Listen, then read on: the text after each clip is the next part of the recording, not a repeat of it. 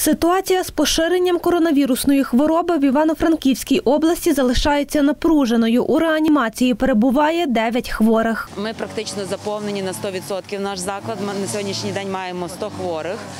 Е, Це е, така практично максимальна кількість, яку ми можемо розмістити з дотриманням правил інфекційного контролю. Івано-Франківська обласна клінічна інфекційна лікарня отримала другу партію допомоги від фонду Петра Порошенка. Це дві сотні іфа-тестів і пробірок. Ми надалі будемо підтримувати контакти і зв'язки з лікарями і від фонду Порошенка все, що в силах, е, ми однозначно будемо допомагати. Отримані іфа-тести дозволять завершити перевірку медпрацівників лікарні на антитіла до коронавірусної інфекції. Частину працівників закладу вже вдалося протестувати. З'ясували, що е, практично 40% е, медиків вже перенесли е, COVID-19.